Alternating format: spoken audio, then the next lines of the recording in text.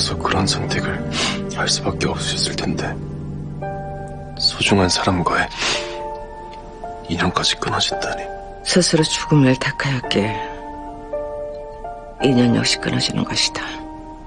하지만 결국 모든 걸 다 잊고 또 다른 인연들을 만나 새로 시작하는 의미겠지. 박 팀장님은 모르고 계셨던 거예요